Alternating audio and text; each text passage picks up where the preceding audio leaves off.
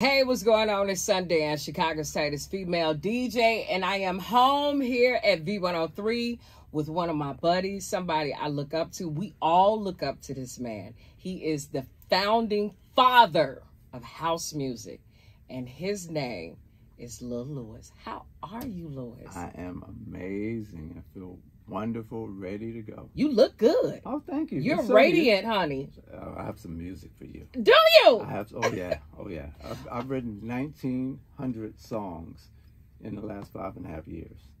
1,900. For the pandemic, that's all I did was write, and you know, I've written some books as well. So Mhm. I have the best music of my life. Mhm. like far superior to anything you've ever heard me do. It's a completely different level now. I'm I'm excited for you, but the biggest question I have: Where have you been? I haven't seen you in like almost 16, 17 years. Yes, I um I was in Europe for a, a- long time, Uh huh. um, and when the pandemic hit, um, you know, it was devastating, of course, to everyone. But Mhm. um, for me, it, it it hit, you know, in an extra way because I lost my brother Steve Oh, and my brother Curtis, and I lost them literally six months apart. Mhm. Um, so that kind of just set me down this cubbyhole. And my way of always dealing with, I guess, grief, like when I lost my mom, Mhm. my way of always dealing with grief has always been to go in Uh-huh. and just write Mhm. and just, you know what I mean? And and I've done it since I was a child. You know, that's how the book came about because I had uh, 200 diaries Mhm. that I had written when things were going on whatever. And so I started writing Mhm. and it was just really therapeutic and i kept writing and uh, every day i'd have my avocado toast and i i'd work for 21 hours because Okay. i'd only sleep two and a half hours a day two two and a half hours a day and then i'd go to bed uh, wake up the next day avocado toast sitting at the keyboard or sitting with my pen and 21 hours a day and i did that for three years and so in addition to the 1900 songs this is the first time i've ever said this uh, I've written 20 books. 20 books. Literally in two and a half years, less than three years, I wrote 20 books because all I did was write. That's it. And so I have, uh, I'm, I'm coming out on a different level when it comes. Really? Yeah. And all of it starting really Saturday. Like Mhm. Saturday is the point of the new. Now Saturday is the Big 49 tour. Right. Okay. Right. Explain that number. Okay, so I started DJing June 29th, 1974. Oh my goodness! Yeah, that was Okay. the very first I day. was two. Yeah, how about that? I was two. yeah, well, when it was a Saturday, which is kind of crazy, it's full circle, and I'll tell you about it. So, um, I was 12 years old when I started DJing, as a lot of people know. And so this particular uh, June 20 uh, date, June 29, 2023, marks 49 years for me as a Mhm. DJ. Mhm. And so what I decided was to embark on this tour. Mhm. And I wanted to call this simply the 49 tour. Mhm. And to kind of bring people wherever I go into the, the, the world that I've lived in and Mhm. the many facets of and many areas of music that I've played. So they're going to get 49 years of me Oh my goodness. when they're at the party. And Okay. I'm telling you now, whoever comes there in trouble because I'm not coming light. I'm not coming with, you Are know, you gonna take your shirt off? I just might. You know he's notorious for taking that shirt off. I love it. Okay, w- tell me one thing. What do you think about the house music that you are hearing today, and the house music that's coming out of Chicago? Are you proud? Um, you know what? I, I am I am proud Mhm. of a lot of what I'm hearing. What I will say um, is that I do think that the, the the approach that I used to have and the approach that I think maybe most creatives had back in the day Mhm. is missing a bit. In, in, in other words, Donny Hathaway was Donny Hathaway. Mm-hmm. You know, Aretha was Aretha, Mm-hmm. and and Nina Simone was Nina Simone. Mhm. So when you got an album, you knew that there was this individual expression, and, and, and it wasn't based on what was really selling or what was Mhm. happening. Mhm. Uh, it was more based on the individual talent.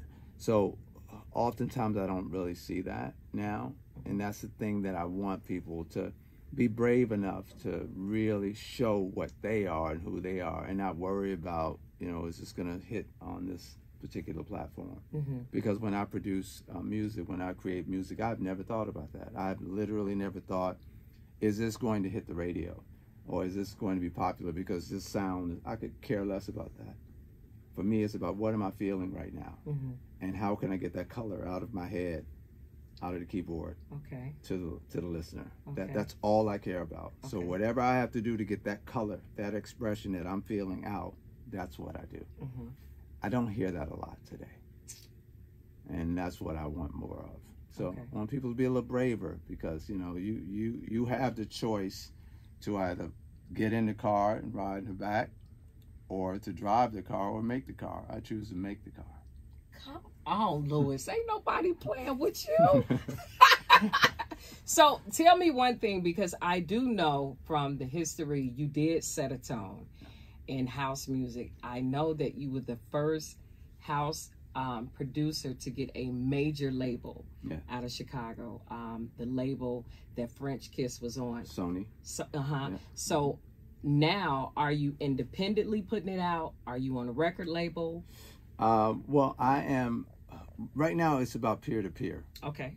So e- even though I do have, uh, I'll call it an affiliation with the label, Okay. um, it's more of a partnership. Mhm. because uh, the need for uh, for distribution, the need for the record label Mhm. is not the same, right? Because I, my fans are direct, and as long as I can reach my fans, that's who they're trying to reach anyway. Okay. I have the ability to reach my fans. Mhm. So yes, do they have other avenues that they can they can help me with um, in my journey? Sure, Mhm. but it's really about partnership. Okay. It's no longer about being on a label. Okay. Would you recommend um, a newbie producer to go independently or seek out distribution? I think that it depends on on on what this um, the individual's reach is. Quite frankly, um, because the the dynamics have shifted, uh, the record labels honestly are taking a lot more of the Mhm. bottom line, uh, including the 360 deal, Mm-hmm. which I think is a travesty. And I can, you know, I've been in the game long enough that I can speak honestly. Mhm. I think it's a shame that they're taking 360 deals. So anyone, regardless of their tenure, should never really enter into a 360 deal unless they understand all of the parameters with that deal. Mm-hmm. Um, so yeah, it, it really also depends. You know, if, if they're really trying to make their own statement, then be brave enough to do independent Mm-hmm. and, and, and write true and people will follow you, Okay. you know. Well, let's bounce back to you. How can I hear the 1900 songs? I know I'm gonna come tomorrow night. Yeah. Tomorrow night is the big day at the Yeah. Riviera Theater. Yeah. But um, how can we follow you? How can we support you? So what's happening right now for me is I am um, going to put out nine albums back to back, Come on. and it's going to start Q3 of 2024. Uh-huh. Right around the time we do another announcement, which I'm not going to announce. yet. Okay, okay. but Um, you'll be back to tell us. No question Okay. it. No question. hmm Um, but the first album will drop then, and then every six months I'm going to drop a, another album. Okay, Um, and the albums are basically ready to go. okay. It was really crazy trying to choose between all those songs. Mhm. But, you know, my thing now is to really give you more cinema hmm than anything else with my music, you know, Mhm. because I, another thing I did is I took classical lessons and things Mhm. like that. So I'm, I'm producing at a different level, you know, like I, I'm not doing really, if you look at the second album, it's more jazz based, Journey with the. Lonely. And these, this new work is really classical. Mhm. It's really about that hmm uh, form of expression. So. I um when I finally got a chance to meet you and connect you with uh Fr- French Kiss with Club Lonely, I said, "Man, my circle is insane that I can call this person and say, "Hey, this is Sundance. Let's let's laugh, let's talk. I need advice and I get sound advice from you." Tomorrow is your pinnacle day Yes. and I'm gonna try my best to get my tail on out there. Yeah. What can I expect? I know you coming with it because Yeah. I know you DJ. You're aggressive DJ, And I love that about you. Yeah. You're not gonna play with the people. No, no. Not one.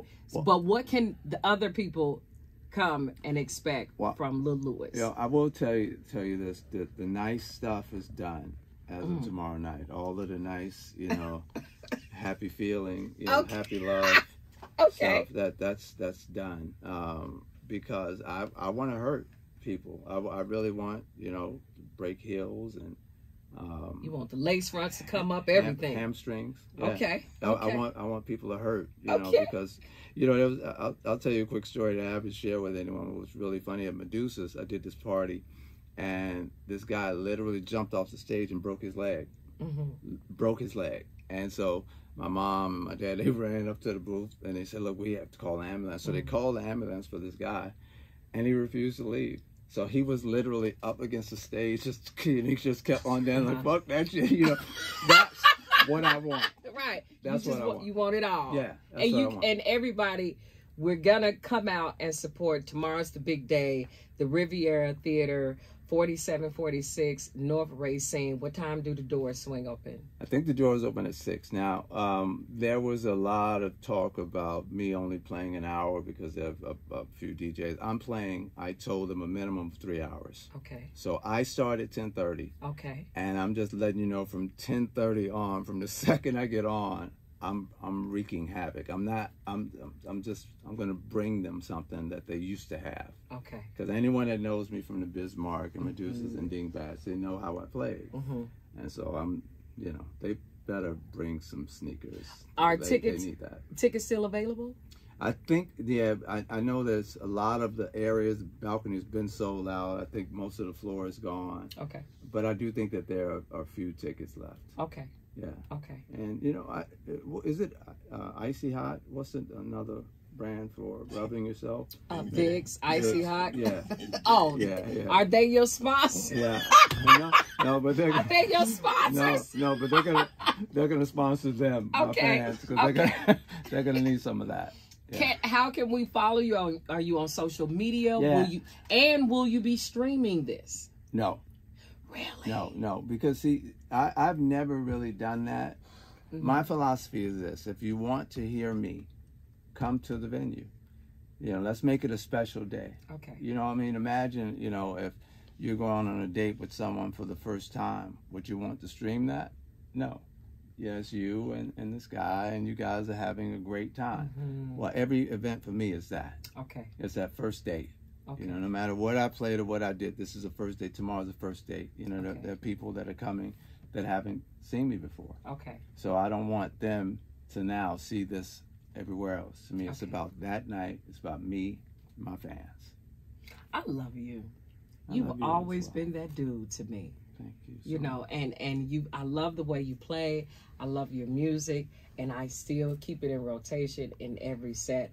I'm super proud of you. I'm so proud of the books. That's that's what I love because a lot of DJs they don't tap into that other side of being an artist. They just they DJ or they may slide into production, but they never slide into something else that God gave.